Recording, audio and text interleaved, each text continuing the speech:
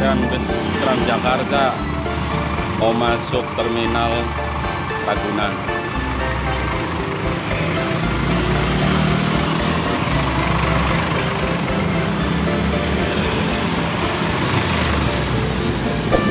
Ini baru jam 2 siang.